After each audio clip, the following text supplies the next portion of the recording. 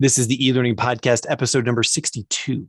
I believe that companies, educators, organizations out there who are focused on creating the strongest or most effective relationship between a student and instructor are truly going to be the companies who end up making the biggest impact in education.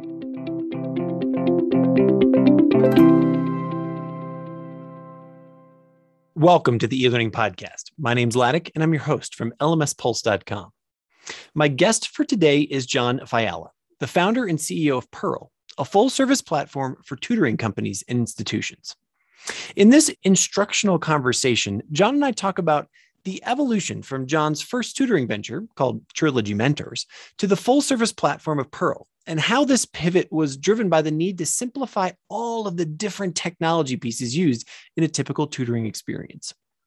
We also talk about the realization of just how fragmented the tutoring sector is through the experience of building the Pearl platform for themselves and then having others ask to license it from them. We also talk about John's vision for Pearl to become more than a tutoring technology platform and how there is incredible opportunity to aggregate resources and create trusted standards across the sector. We also talk about two key challenges faced by tutoring companies today, which include differentiation and accessing the vast amount of funds available from governments and other outlets. We also talk about why culturally relevant instruction is important for making a deeper impact with students and the pros and cons between local versus global tutoring companies. We also talk about pricing variability in tutoring and all of the factors that drive these variations. And then finally, we talk about the parenting approach to tutoring and whether or not we're asking too much or too little of our kids. But before we get started, a quick word from our sponsors. The e learning podcast is sponsored by the e-learning success summit. Learn from more than 40 experts how to teach, work, and learn online without being overwhelmed. Get your free ticket to the summit at elearningsuccesssummit.com and lmspulse.com, your best source for news, information, and resources for e-learning professionals for more than 10 years. Get our free roundup of the week's top news at lmspulse.com. Hello, John. Welcome to the e-learning podcast. How are you today?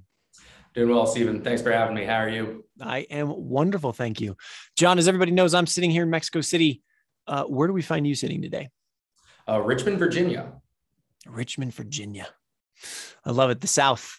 Um, yep. So, uh, you know, I've already teed you up in the introduction to the podcast here. You're the CEO and founder of a, of a company that's now called Pearl, but give me the 15, 20 seconds in your own words. What does Pearl do and, and why are we sitting here today?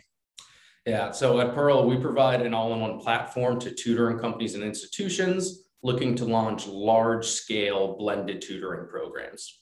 Super cool. And I'm very excited to talk about why blended, why that's important because, you know, everybody's online everywhere right now. Yeah. Final question before we dive in. Uh, I've been using the, the podcast as a time capsule over the past year or so here on the COVID situation. What is, what's the COVID situation like in Richmond these days? Yeah. So, you know, the COVID situation in Richmond uh, is getting a slightly worse by the day as it is a lot around a lot of the country with Delta.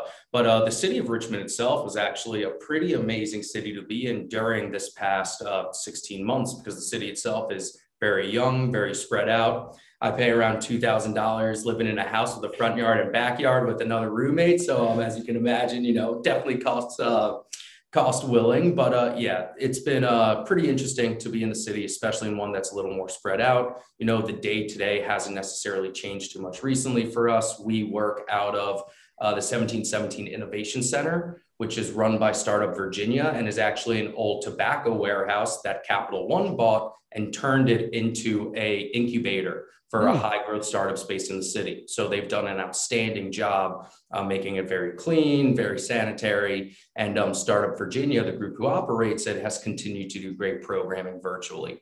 So it hasn't been too bad. We're really excited for things to get fully opened again and um, have just been fortunate enough to be in a position where we've been able to help thousands of educators with this uh, t- tumultuous past 16 months. Super cool. Yeah. No, this you you definitely guessed right on the platform to have for you know the last 16 months here. But um, tell me where it started. Let's let's let's start there. I mean, Pearl is the name today, but this is a this is an evolution. Um, you used to be called Trilogy Mentors. I'm yeah. I just need to know the backstory. Like, wh- why Trilogy? What what happened there? Yeah, so uh, it's actually been five years in the making. This rebrand. Um, Trilogy Mentors started my senior year at University of Richmond, where I was an entrepreneurship major, and we had to start a company that was really organic to our own experience. So growing up was a great lacrosse player, loved playing the ukulele, but wasn't necessarily the greatest math student. So um, I had tutors from a very early age and never really connected with them until there was one that I viewed more as a mentor or someone who I really had a relationship with, not just a tutoring experience with. His name was Josh he tutored me in math, but then also helped me in sports and kind of the rest of my life as well. So when I was at University of Richmond, the original concept of Trilogy Mentors was to provide mentorship in academics, athletics, and the arts. We did that for the first year after graduating from college, focused on academics, did over a thousand hours of instruction. But more importantly, my professor made me do 100 hours of consumer interviews. And it was in those interviews and talking to parents, students, and our mentors that we learned about this growing trend in online education.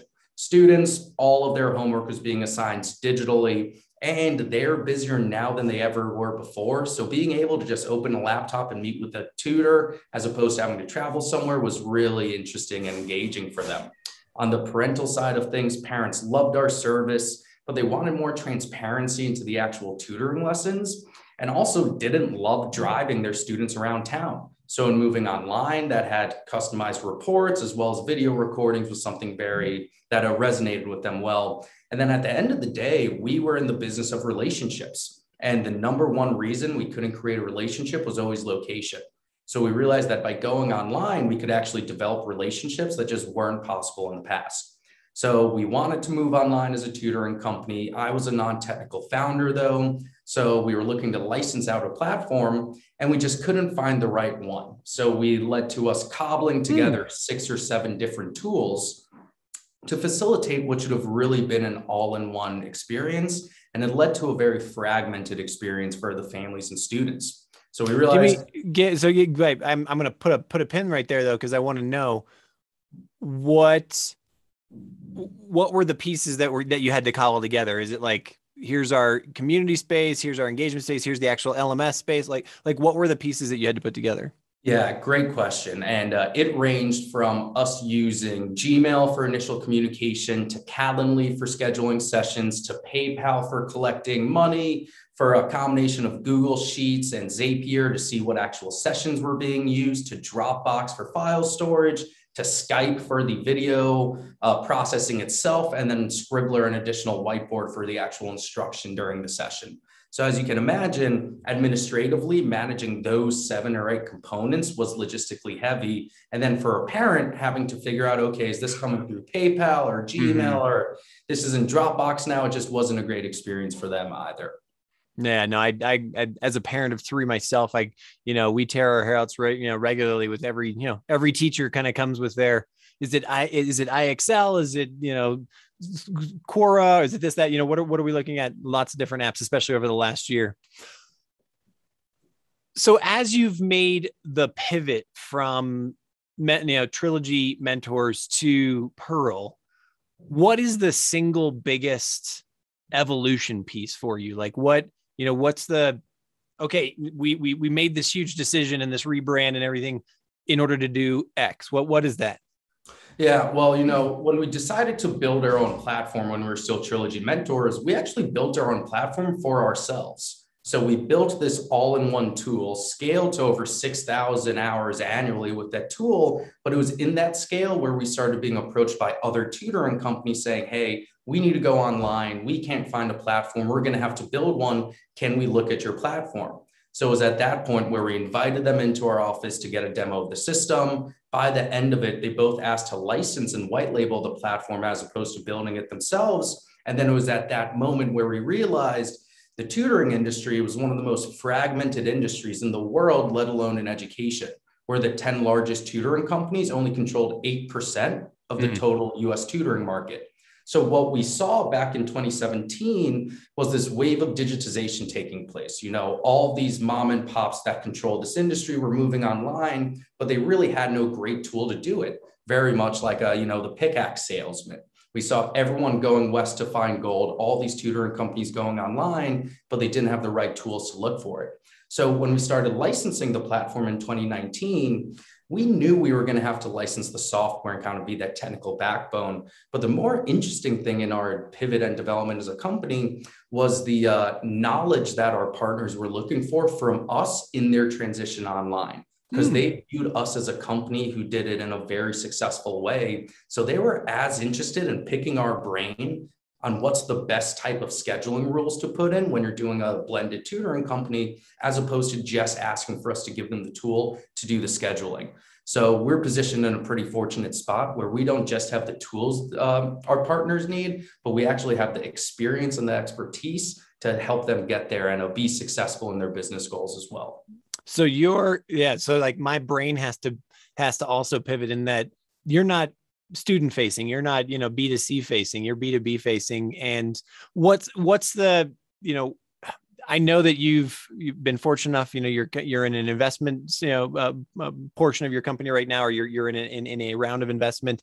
Uh, is that the strategy moving forward? Or are you just building out the platform, making it more robust, providing this academy of services, et cetera, or is there another strategy in sort of in starting, you know, acquiring and bringing in other companies and whatnot, or what, what's the vision there? Yeah, so we believe there to be a huge white space in the market when it comes to real thought leadership around tutoring technology. You have some great tutoring players out in the space who have been around for a long time, and some big players like Varsity Tutors or VIP Kid, where there's some really interesting dynamics taking place abroad right now in the tutoring space.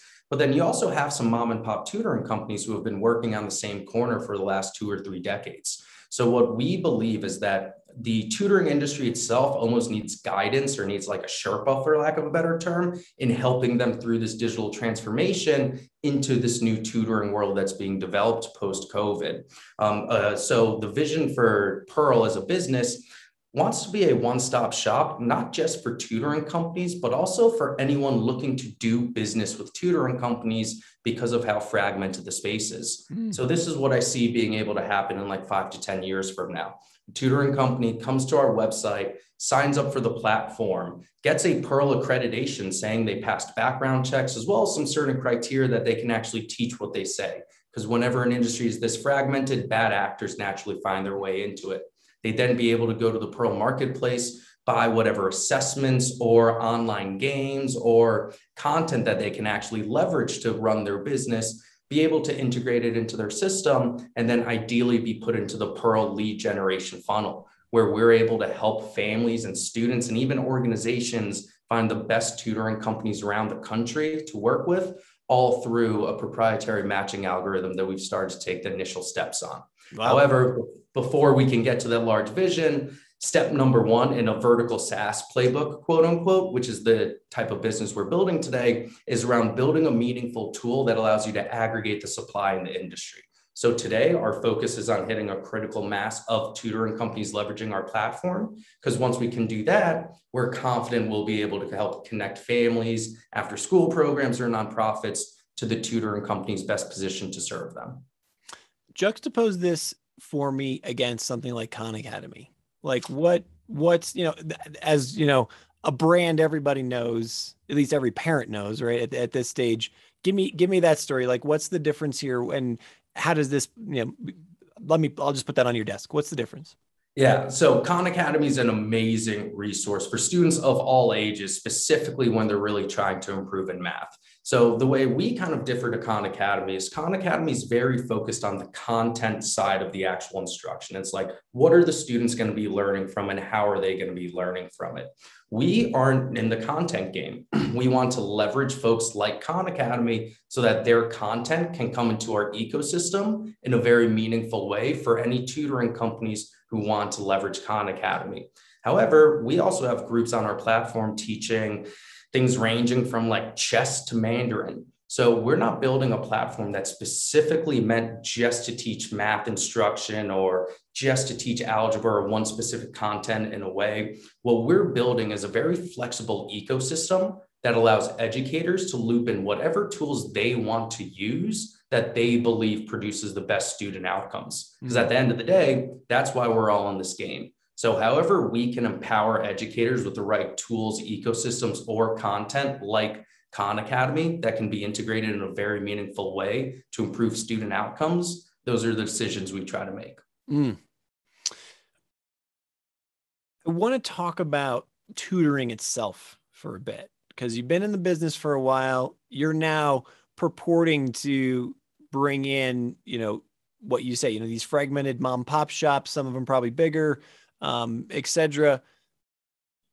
What, you know, give me like, what are the three biggest challenges tutoring companies face? I mean, but uh, beyond client acquisition, right? Obviously, you've always got to find students to come into the pipeline and be a part of like, but like, let's just say that you've got a thriving business that is perpetual, right? Like that you're, you're self-sustaining. What are the big issues today in tutoring? Like what's, what's the big deal?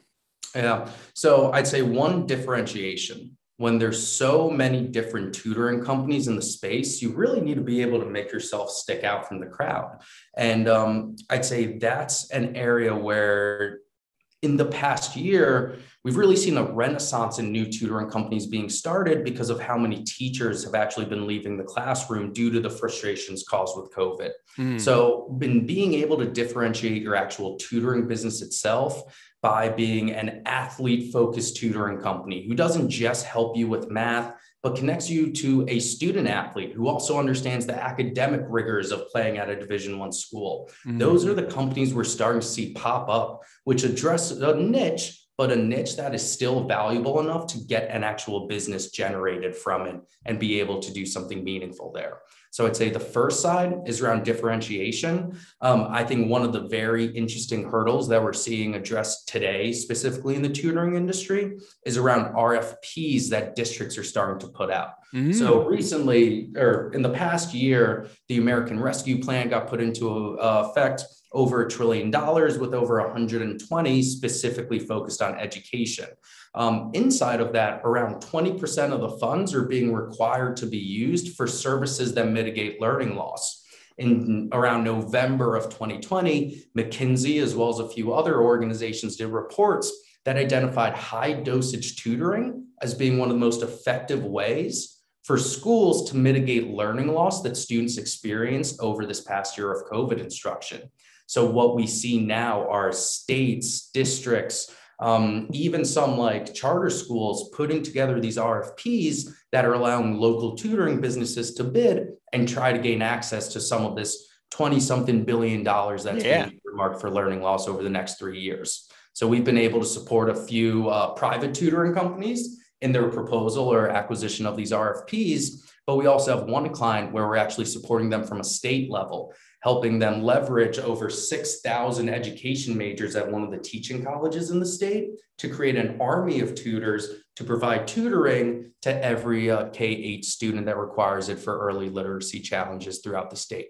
So that's one that we're really excited to be able to help. We're also seeing a few other of these statewide tutoring corps get put into place that we believe are an amazing resource because one, they're not just helping the student, but two, a lot of them are leveraging education majors at schools within these states. So they're actually getting these education majors, one, paid more than they would be getting paid on campus, but two, it's giving them very relevant work experience mm. for what we all know is going to be a big part of the future of education, which is this online instruction. Specifically, what we're seeing is more blended, where one day the student's going to be in person, the next day they're going to be meeting with an instructor online, but all still focused on building that relationship.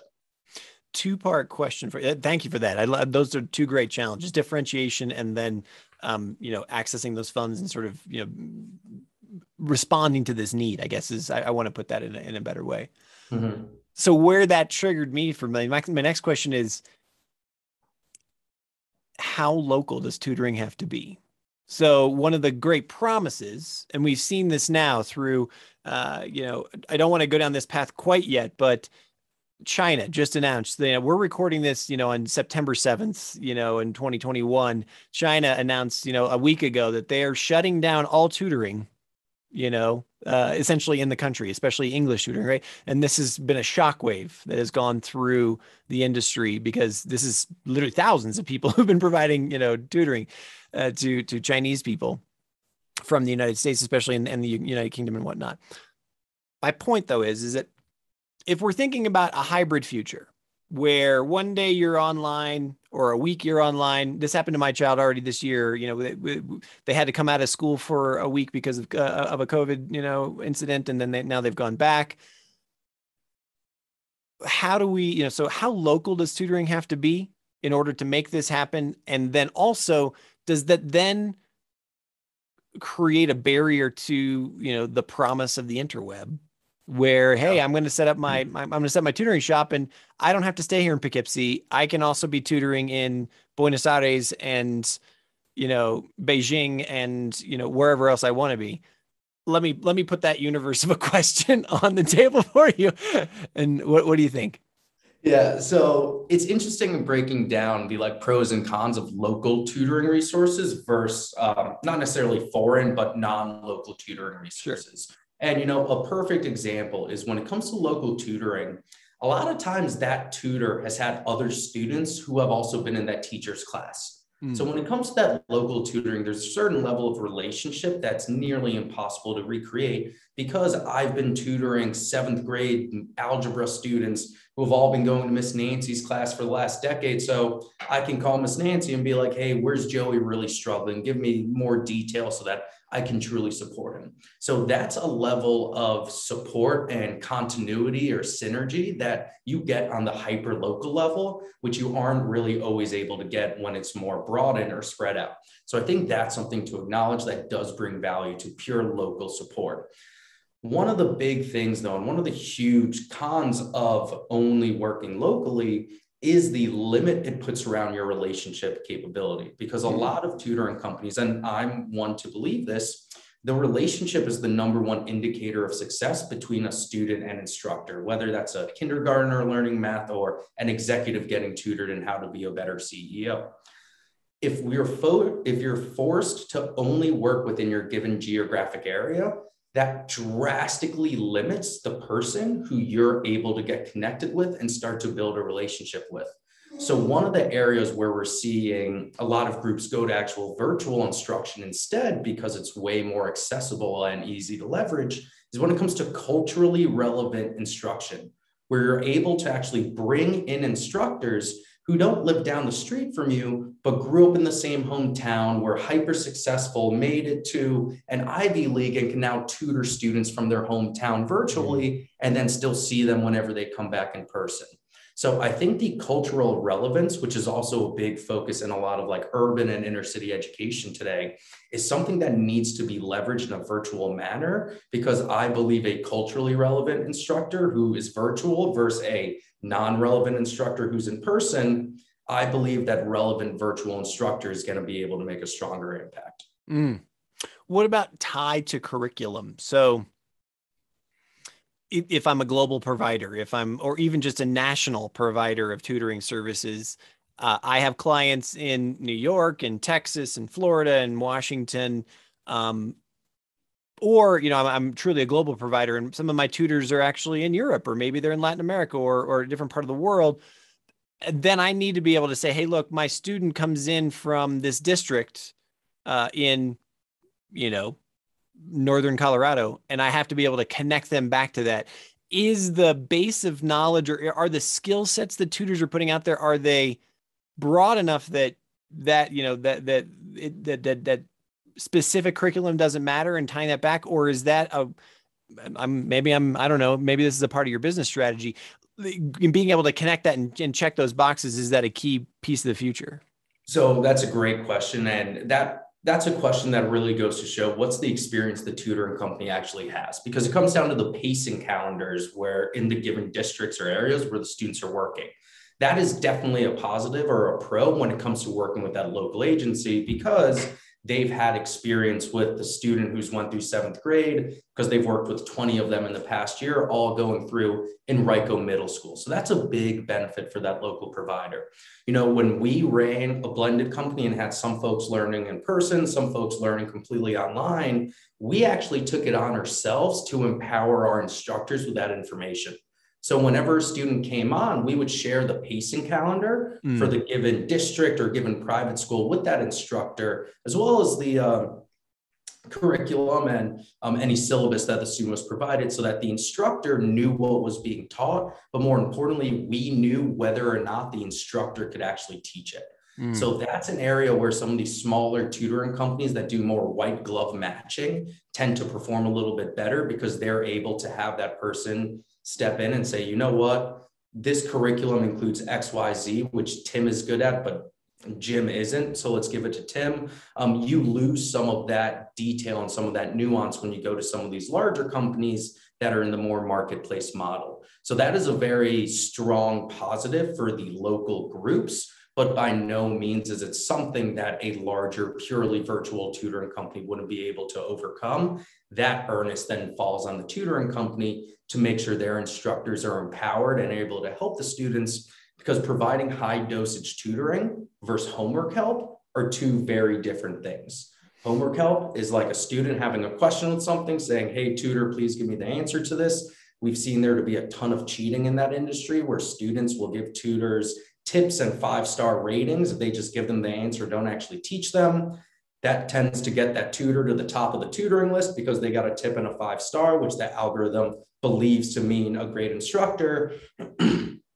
So we've seen more of the relationship based instruction where the instructor knows the pacing calendar and the curriculum for them to then be able to bring their own content to the session as opposed to just relying on the student asking for homework help. Mm. One more question in this line, in this vein, in those RFPs that you've seen from school districts and whatnot, are there are there pieces of this uh, that we're talking about right now that are that are a part of that where it's like, Uh, you know, hey, we're the District of Aurora, and you know, a part of this tutoring is that you're, you know, we're going to share the curriculum, and the tutoring company is going to be required to ensure that whenever we send you a student, they're able to kind of seamlessly get back into that. Is that a is that a thought?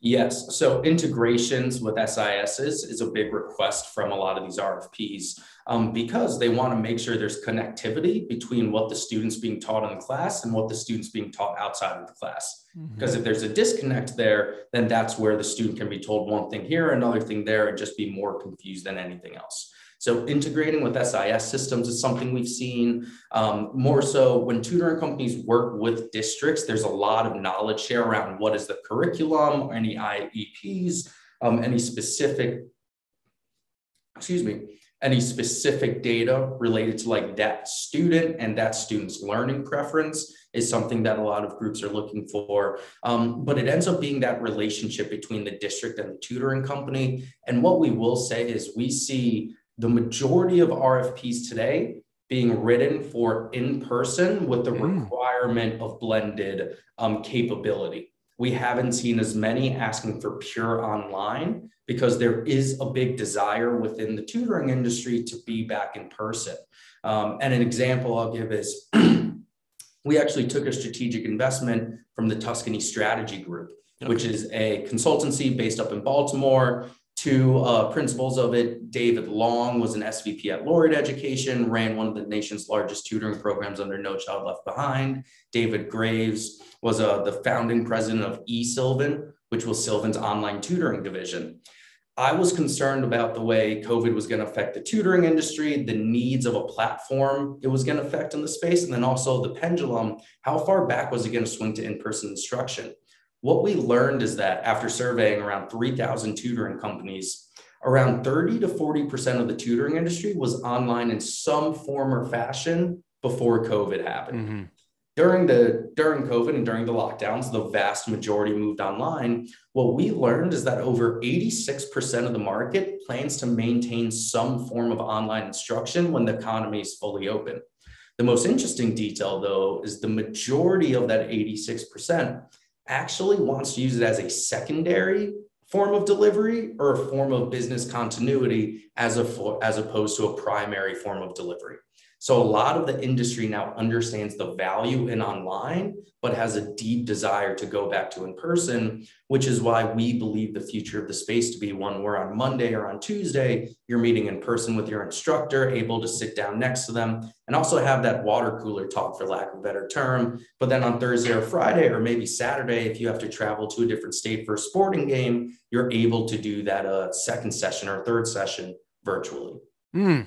That is really interesting. I, I I'm I'm intrigued that the desire to be in person is so profound.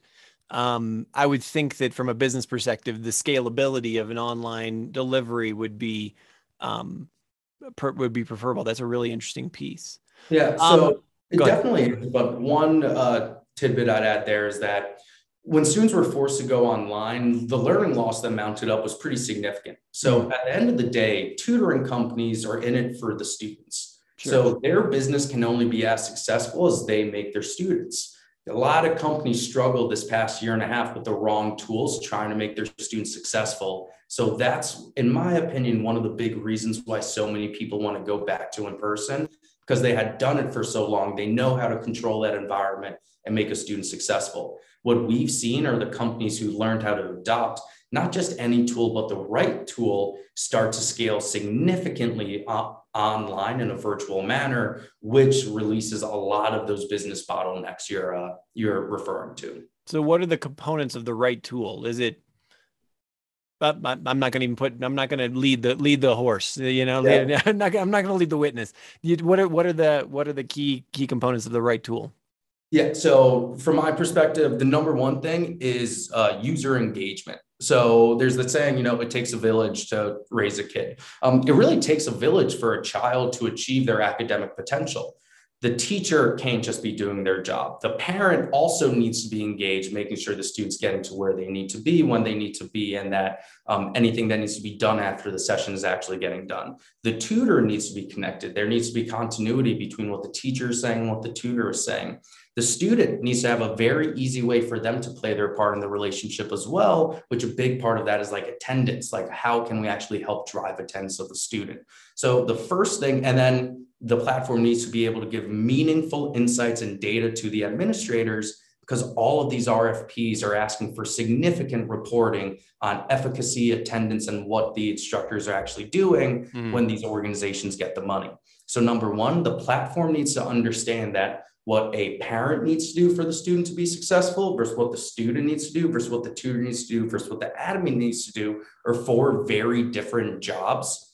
And the platform needs to make that job as easy as possible for each one of those users. So it's a fundamentally making it easy for every stakeholder to play their part in the student's academic journey is number one. Number two, then gets into the actual intricacy of the system. Like, is your scheduling tool connected to your billing tool so that when a student learns, a session from them is automatically deducted and notifications are sent out when users run low, as opposed to use a tutoring company, you need to make sure you have one administrator whose sole job is reconciling what sessions were bought, what type of session were they, who actually taught the lesson, how many sessions are left.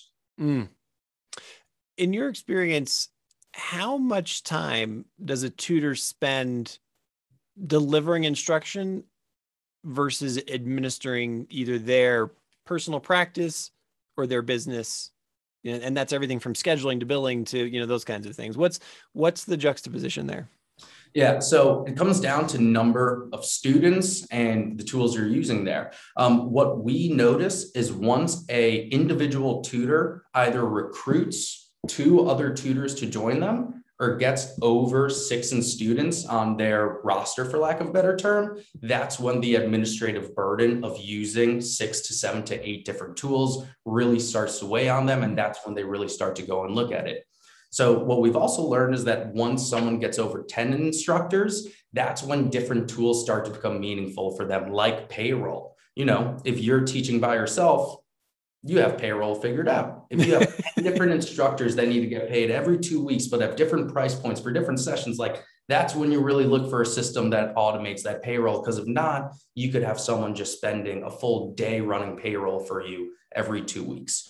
So what I'll say is we have one group, um, tutoring company north of 15 million a year uh, in revenues. They have nearly a full-time team member who uh, is doing strictly manual tasks that a system like ours fully automates. Mm, okay, I understand. What's the difference in, or is that what? What's the variability in pricing? If I'm a parent listening right now, or I'm a district, um, am I going to find a huge wide variety in pricing, not only based on locality, and I guess what are the factors, right? So I'm thinking locality could be an issue, subject matter could be an issue, um, that you know the company I work with and the resources they're providing? Is like, what are so? I guess what are the pricing variabilities and what are the factors that weigh into that?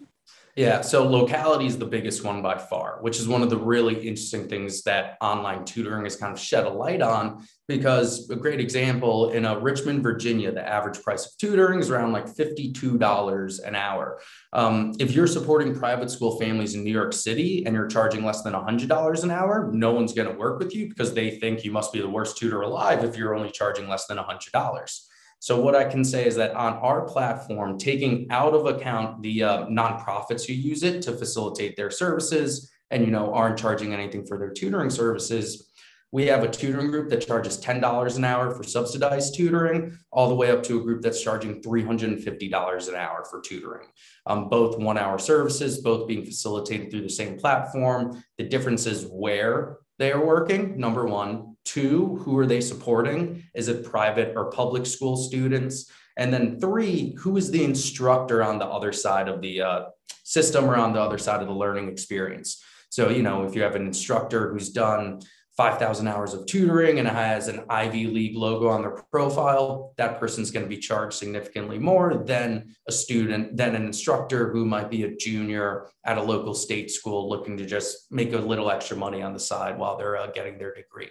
Mm. So I'd say it's location, the actual demographic they're serving, the instructor would be that third piece as well. Um, and I'd say that's really the core of uh, how tutoring companies price their services what can, what can't you tutor? Like, are there subject? Are there subject like were over the last six months? Were there subjects that just were kind of like, hey, look, we're just gonna have to wait on that, you know? And I'm thinking something like, I can't really teach you how to throw a football online, you know. Yeah. Uh, so athletics maybe, but but then we have the arts. Then we have, you know, are there certain pieces of science or or those like, are there subjects that are not applicable? Yeah. So if you distill the concept of tutoring to a monetary or resource exchange for knowledge, where you give someone something and they give you knowledge in a one to one or small group setting, um, there's really nothing you can't tutor. The question is, how well can you teach it? And how, how effective can it be at the end of the day?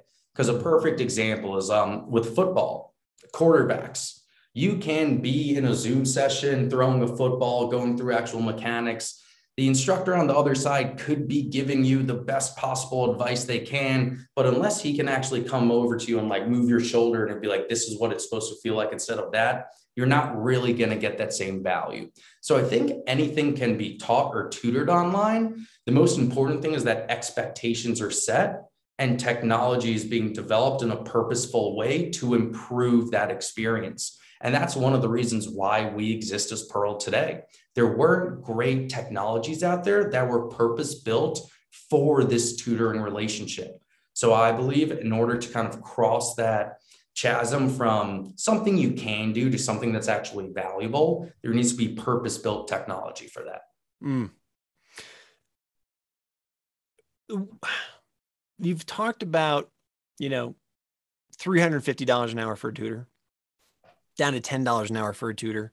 Um, I mentioned that you know uh, China just announced they're shutting down tutoring for English, at least um, you know uh, recently, uh, which is something that many many families were doing over there, especially the, that you know massively growing, rapidly growing middle class in China that they're looking to sort of get into the global economy whatnot. Talk to me about what you've seen in terms of tutoring being something that is continuing the economic and digital divide or the you know disparities that we see in society um, maybe some of those are, are we are we expecting too much of learners in terms of you know parents that say hey look you're, you're doing well in class but you're still going to get tutoring? Because we i mean we saw this in bangkok right where uh, when my family lived there especially at, at sort of the middle school level where um, you know, kids were doing just fine. They were academically successful. They, you know, had a full, but then they would come home and they would still have two or three hours of tutors because their parents believed that they needed that extra piece. You see, like, so again, yeah. I'm a, a big universe of a question, but what has your experience shown in terms of economic divide, you know, opportunity, stress, anxiety levels, these kinds of things? Yeah, well, uh, your latter point there is completely accurate. If there's any way for parents to give their student an advantage and the parent has the resource to spend to get that advantage, they're going to do it. So in the town I grew up in, Scarsdale, New York, um, you know, I was getting tutored, but I was probably one of the few students who actually needed it. Uh, compared to a couple of my buddies who like got a 32 on the ACT, and their parents were like, "Well, that's not good enough, so we're going to push to get you a 35." Or uh, you're getting an A minus, but in order to get into the AP class, you need to get an A, so we are going to pay for a $200 an hour tutor because we need you in this advanced taught or advanced place class in order to get into that college that we want you to go into. So unfortunately, that is never going to end. Where the way we approached it when we were a tutoring company is we actually got innovative on the way we structure our business model. So to give you an idea, we worked with some private schools. We would charge private schools a decent dollar range. What I'll say is like north of $90 an hour. And what we did there was we focused on supporting students who were on scholarship who couldn't pay for their own tutoring. So the private school would actually pull from their scholarship, pay for the students' tutoring, and we'd support it and then report back to the school on all the impact we made. So taking a third party uh, funded model to it. What we then also did though was we worked with nonprofits and charged them at cost the same the price for the same service we were providing the private school. But because we were charging X to them and Y to them, we were able to create a business model that was still sustainable. So I think the tutoring companies themselves can, t- can take more innovative and more equitable approaches that make it easier or financially viable to deliver services to a student, no matter what their background is. Um, I think one of the big issues that was in the industry, which is now really been addressed over the last few months, but there will still always be a gap there is uh, infrastructure where, you know, in order to get online tutoring, you don't just need a device, you need a device that's connected to a stable internet uh, connection. And then the third and probably the most underrated thing these past year was that you need a safe environment to learn if you're in an environment where there's a ton of distractions going on or you don't feel like you're safe and secure and you're not actually focusing on what's being taught you're not learning as well as that student who might be taking the, the same tutoring lesson in like an after school program where they have their own little cubby to learn in. So i think the government's done a lot to help beef up the infrastructure. A lot of uh, the private sector stepped in to give away devices and connectivity to students I think there's still a gap there though, and there will always be until a student can get a not just stable and secure 5G connection to an online learning environment, but actually be able to be in an environment that's stable, secure, that they're going to be able to fully pay attention to. Um, I think is a piece of the pie that sometimes gets overlooked. Mm. Is there a time when parents should get out of the way and just sort of, you know, like you said, you know, if they have the means, they're going to do this. Are, is is there an unrealistic expectation that's been built up in in in the world, or eh, from your from your vantage point, or is this just you know this is just the nature of the game? Yeah, well, from my vantage point, and I'd probably say from my parents' vantage point as well, you know, they were big believers in we got to set him free sometimes and let him fail and learn on his own because uh, that's really what puts students through adversity and what really makes them learn what they're capable of and what they can do on their own without necessarily having things handed to them. I think the unfortunate fact of the situation is that that will never be the case. And in order to um, implement something like that, I just think the logistics to it would be undoable. Like being able to make parents promise that they didn't get an extra tutoring session for their son the night before the final because he has a 86 on his average going into that final test. Like, unfortunately, I just don't see a world where that would be the situation. I think what it needs to be is that some actual education to parents, kind of letting them know, like, hey, it's okay if your student doesn't get a 99 on every single test. And I think fundamentally, if the education system can change from a what is the score you got on the last test to what's the potential of the student when put in the right learning environment, I think if we can find that shift in the industry, then it'll just naturally make people start to focus on how can I set my student to be up to be successful in the correct environment, as opposed to what can I give my student to get them to that 99 score, which then sets them into this next uh, next thing I have in mind for them. Mm. Awesome perspective. Final question for you, John.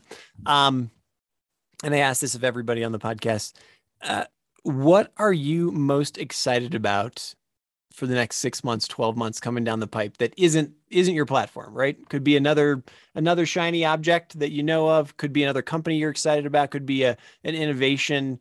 Um, you know, what are you paying attention to integrating with, you know, something that you want to tell everybody about? Hey, check out this. Um, hmm. It's a great question. Um, and I have a couple different industries that I'm always just laser focused on, especially with things happening in college athletics right now with the NIL and students actually being able to get compensated for mm. their own. Oh, name. Oh yeah, yeah, that's um, a big one. That's a big one. I'm a big fan of. Um, had some experiences with college athletics and also a number of friends in that space, so that's something I'm looking at. But um, in my opinion, the relationship between a student and instructor at the end of the day is the most important thing, whether it's a kindergartner, an executive, someone in college, because at the end of the day, we want to be with someone who we like to be around. I mean, companies do it all the time with a layover test. You have two equal candidates. One of them is a good time during a three hour layover, the other one isn't. You go with the person who's going to be entertaining for those three hours. That's the first time I've ever heard the layover test. I like oh, that one. Yeah. That's yeah, nice. Yeah. I mean, I've, I've, heard it in other things, but nobody's ever called it the layover test before. I like that. Nice. Yeah. We might have dated ourselves a bit there with the layover because who knows what travel looks like anymore. But um, I believe that companies, educators, organizations out there who are focused on creating the strongest or most effective relationship between a student and instructor are truly going to be the companies who end up making the biggest impact in education and are also going to be the companies who are going to help um, dissuade people from spending as much money as they can to get that 99 to focusing on who's the person who can truly unlock the most potential in my student. And uh, that is an area where we've seen a lot of platforms kind of enter the space to try to facilitate that relationship, really the communication between the parent, student, and instructor. Um, Remind is a company um, run by Brian out of San Francisco, outstanding communication platform that's really focused on keeping everyone informed so that they can really play their part. Mm. John, you're the CEO of a company that's now called Pearl, online tutoring platform for tutoring companies. I can't thank you enough for taking out the time to speak with me today. This has been super informative. Thank you so much. Hey, well, thank you for having us. Thanks again for tuning into today's episode of the e-learning podcast. If you like what you heard, please do me the favor of following us on LinkedIn, Twitter, or whichever social media you prefer. Also, if you're interested in diving deeper on e-learning, I encourage you to get your free ticket to the e-learning success summit, where there are more than 70 hours of presentations on best practices. Just go to elearningsuccesssummit.com. And then finally, for the latest news, information, and resources about e learning, come subscribe to our newsletter at lmspulse.com. Thanks.